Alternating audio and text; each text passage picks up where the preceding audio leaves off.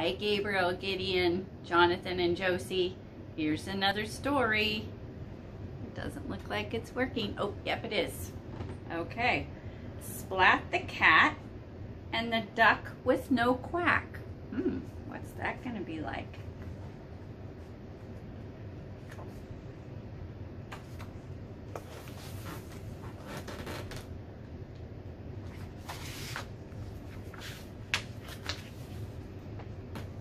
Splat's bike went clickety-clack as he rode along the bumpy track to cat school.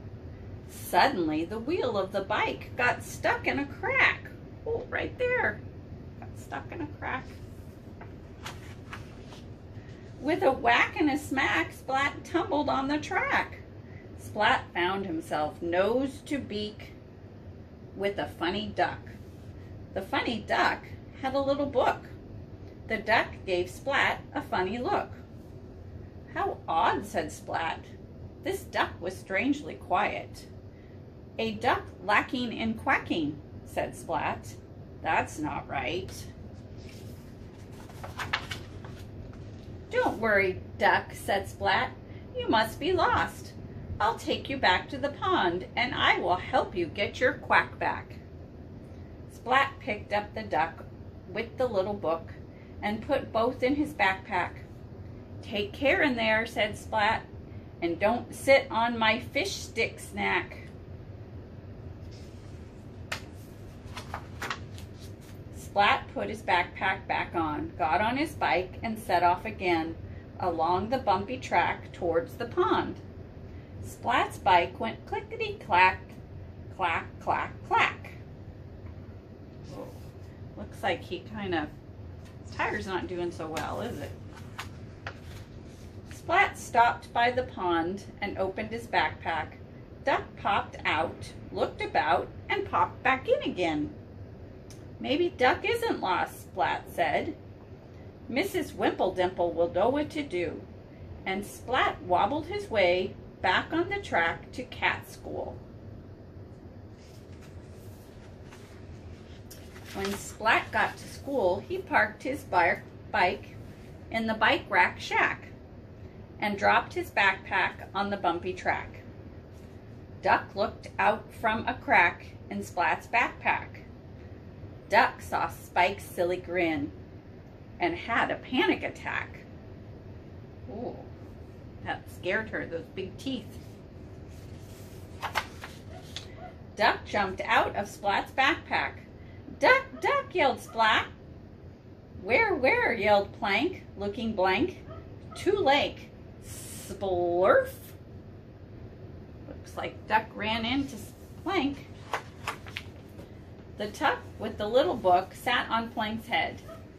No quack, said Splat. No quack, said asked Spike. No quack, asked Plank. No quack, said Splat. A duck lacking in quacking, said Spike and Plank.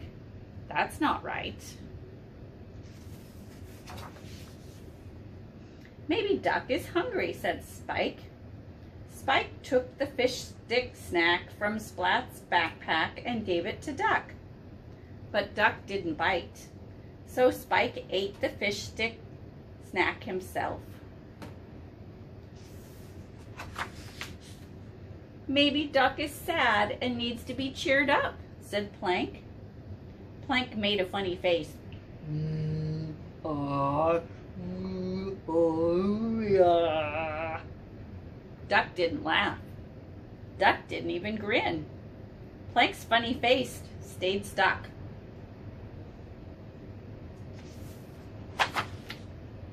I know, I know, said Kitten. Duck needs a bow with a little pink dress to match. That will bring Duck's quack back. But the bow and the dress were not a success. Duck's beak stayed firmly closed. Mrs. Wimpydimple will know what to do, said Splat. Miss Wimpydimple looked at the duck. A duck lacking and quacking, she asked. How very odd, but the answer must be simple said Mrs. Wimpydimple. I will examine this duck with the little book, said Mrs. Wimpydimple, she played some music to test Duck's ears. Duck danced a merry duck dance. Duck's hearing's all right. Maybe the problem is with Duck's eyesight, said Mrs. Wimpydimple. Mrs. Wimpydimple pointed to the chart. Duck just looked blank. She looked closely at Duck. Hmm, I see, she said, but I don't think Duck does. Mrs. Wimpydimple put her glasses on Duck's beak. Duck blinked. Duck opened the book and started to read out loud. As he read, Duck began to quack. Followed by a quack, quack, quack. Hooray for Duck, cheered the helpful cats. She just couldn't see. Quack, quack, quack, quack, quack, quack, quack. And Duck's quack was back. And that was that. Quack. Bye-bye.